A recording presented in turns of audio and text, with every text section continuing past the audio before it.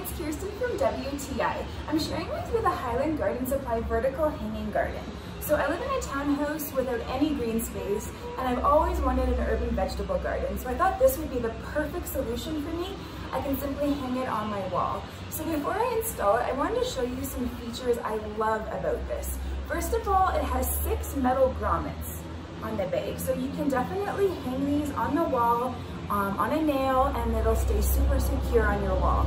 Or alternatively, you could also loop it through a rod, um, just like so. I love the fabric. It's a really thick felt. So you know when you're watering your plants, it's gonna stay nice and moist in here, but at the same time, really breathable. So I'm gonna show you what it looks like as I hang it on my wall and as I put my herbs and vegetables in here. So stay tuned.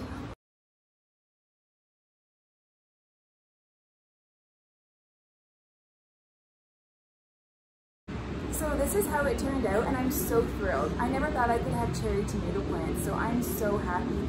So I love how I have those two plants, I have parsley, I have mint, and I also have more bags left to put even more herbs in. Um, I'm so, so thrilled with this hanging garden. Um, like I said, I don't have any green space in my house, so this is the perfect solution for me. And I'm gonna fill up the remainder of the wall with more hanging garden bags just to make my um, outdoor space look even prettier. So you could definitely fill them with flowers, basically any plant of your choice. I'm gonna go water them now so the plants stay nice and healthy. And I really hope you enjoy your hanging garden bag as much as I love mine. And that's my point of view.